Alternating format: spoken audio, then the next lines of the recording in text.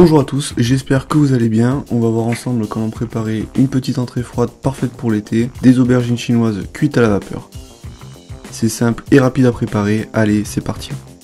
On va avoir besoin de deux aubergines chinoises que l'on va couper en deux ou en trois dans la longueur de façon à obtenir des tronçons de la même taille. Et ces tronçons, on va ensuite les recouper en deux dans le sens de la longueur.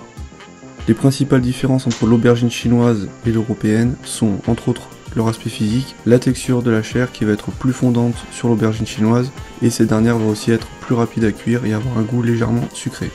Une fois taillées, on va les mettre à tremper 15 minutes dans un bol d'eau dans laquelle on a préalablement mis 2 cuillerées à soupe de vinaigre blanc. Pendant ce temps-là, on va préparer la sauce et les garnitures. Pour ça, je vais hacher un morceau de gingembre d'environ 1 cm d'épaisseur et je vais y rajouter deux gousses d'ail aussi hachées. On va aussi avoir besoin d'un oignon printemps émincé. Pour la sauce, dans un bol, je vais mettre 2 cuillères à soupe de sauce soja classique, une cuillerée à café de sauce soja noire, une cuillerée à café d'huile de sésame, une cuillerée à café de vinaigre noir, une cuillerée à soupe de sucre et on va bien mélanger.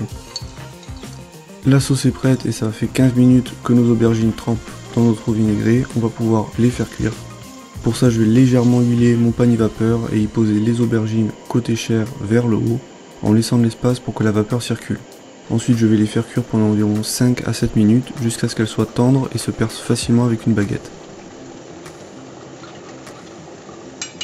On va les laisser refroidir quelques minutes, puis à la main, on va les effilocher en 3 ou 4 morceaux dans le sens de la longueur et les disposer dans un plat résistant à la chaleur.